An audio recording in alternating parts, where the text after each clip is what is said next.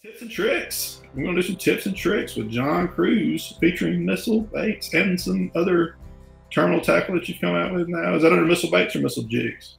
Uh, missile baits. But I tell you, the, the what I really wanted to uh, to kind of break down a little bit is um, is the, is the, the Neko rig. And and first of all, I was calling it the wrong name for the longest time, and I've it's still hard to break the habit because I want to call it the Nico rig because it looks like.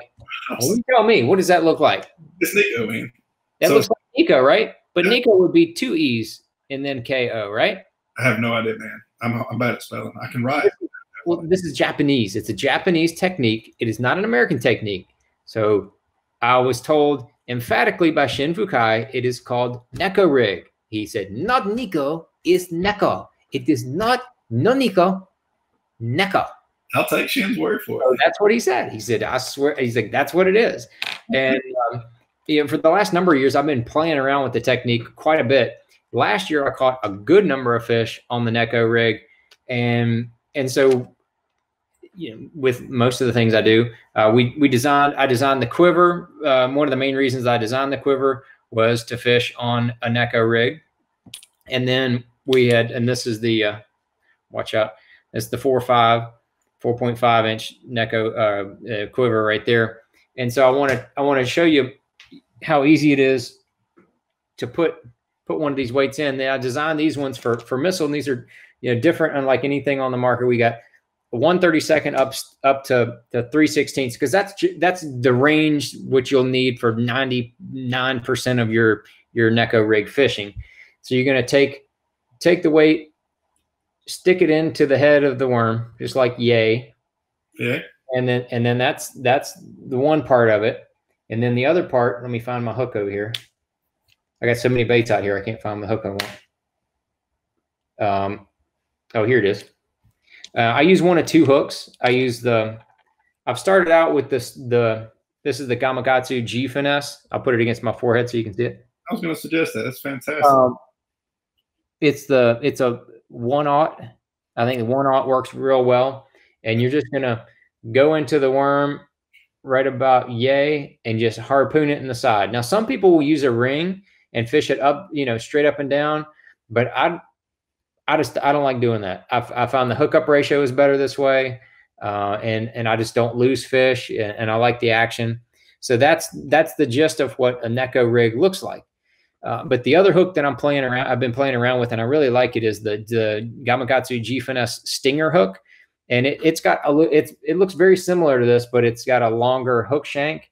Uh, Brent Ehrler was using the Stinger. It's a it's a fly fishing hook. He was using that hook uh, on his drop shots, and then they uh, Gamakatsu did the G Finesse version with the with the better wire and the and all that. Uh, but I really like that one as well, and it has a really nice weed guard on it.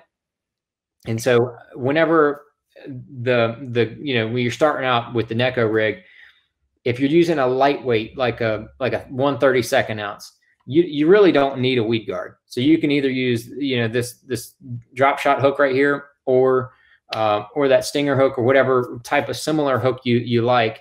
Um, it- the kind of the setup is 10 pound fluorocarbon leader, eight or 10 pound fluorocarbon leader. Uh, if I'm using the lighter weights, I like the eight pound. If I'm using a little bit heavier weights, I like the 10 pound. And I use uh, Sunline Sniper. It's just a real small diameter, thin wire, um, uh, thin diameter, real supple line. I'll use about a 20 foot leader onto 12 pound uh, Sunline braid. You know, that's kind of the, the setup. I, I like the, uh, the John Crews drop shot rod because it's a, a counterbalance weight rod. It's a seven four. It's a little bit longer. So what, whatever you're using, you want to use a little bit longer rod. You don't want to, you know, real short rod for for your fishing the Neko rig. You just can't get a good hook set, and um, and it's just a little more frustrating to fish.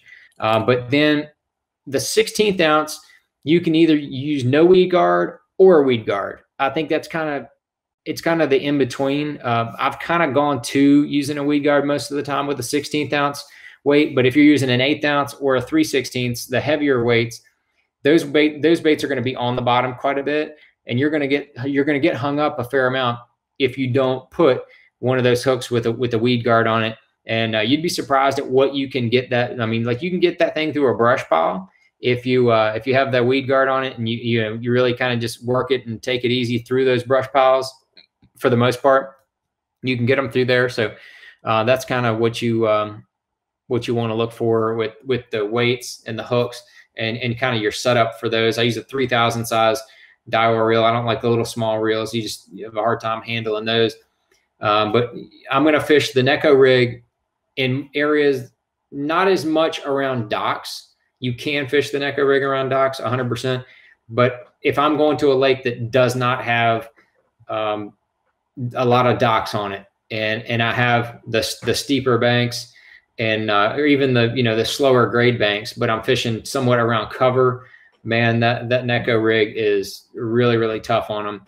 It is really good around deeper grass. Uh, you're throwing it around that those grass lines and just kind of working it through those grass lines. You don't need a weed guard when you're fishing around grass.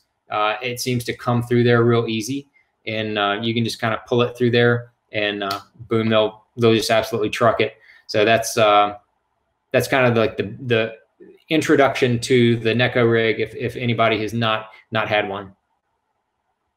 Oh yeah, they like, ANGLR like. Boom.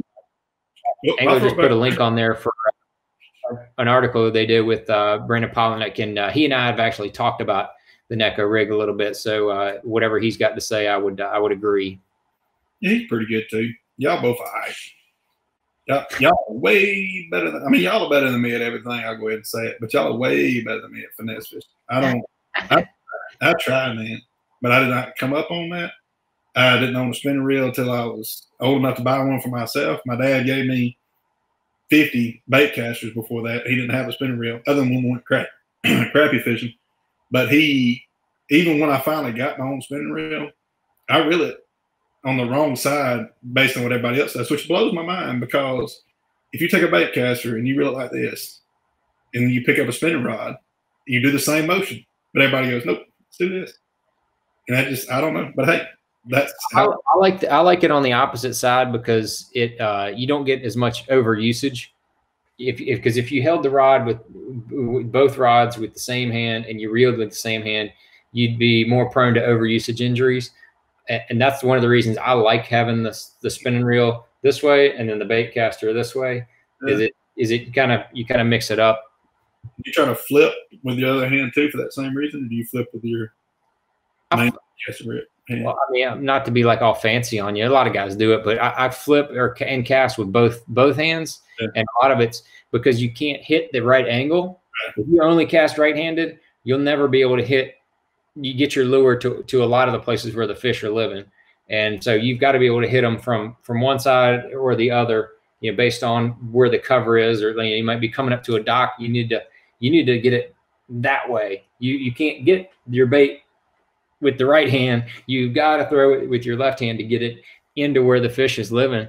So uh, it just it makes it a lot better to be able to fish with with or cast with both both hands. Which brings up our next segment, word of the day, ambidextrous. Go, John. Spelling bee time. Ambidextrous. Using Yeah. both. I can't spell it. I can't either. I just added that out. Yeah. A good time. Yeah. Yeah, ambidextrous. I mean, that's so you do that. You throw with both hands a lot, and uh, And I, I forced myself to do it early on. I mean, I'm very right hand dominant, very, very right hand dominant. I mean, if I throw a, um, you know, a baseball or a football or something left handed, it's not pretty at all.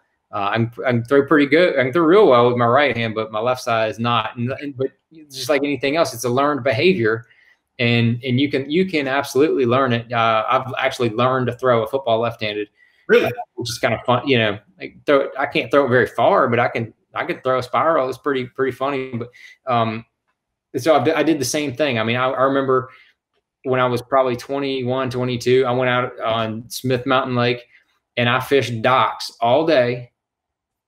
With and I, I had three rods because I knew I was going to need them, uh, all set up the same. And all I did was skip docks left-handed and uh, blew up two of the three reels. But that one reel got me finished finished the day out for me. But I fished, I was like eight or ten hours, and all I did was all I did was cast left-handed, and sl- you know skip. And then I got to where I got pretty comfortable with it, and uh, you know I've I've you know made a made a choice to.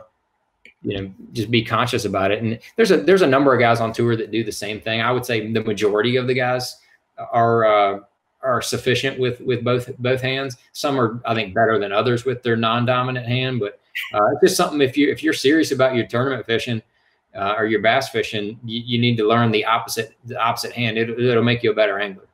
Taking that same concept to what I was talking about not being fishing, I'll do the same thing. Sometimes I'll force myself.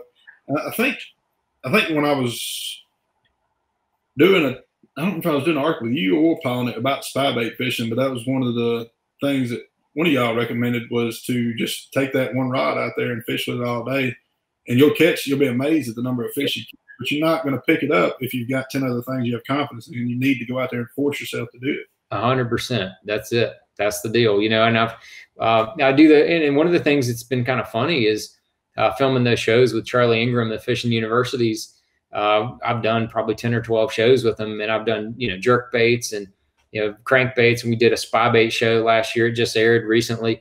And you throw it all day. And uh, even Drew Cook, he was, uh, I invited, we invited him to come, to come fish with us. And he, he's like, man, I don't know anything about a spy bait. And I said, dude, you're going to be fine. He said, why? I said, you're a good fisherman. And when you can only use that one lure, I said, you'll figure it out, buddy. And darn if he didn't. He said, man, he had said at the end of the day, you know, we went out to dinner after the first full day of fishing, and he said, man, he said, you're right. He said, they they eat that thing. I said, man, I, tr- I tried to tell you. He said, you know, just, but it forced him to only fish that one lure, and uh, and and Charlie was the same way. Charlie had literally caught two fish on a spy bait before that show, and uh, he got he got to where he got the hang of it. He he he understood it by the end of the end of the two days we were shooting.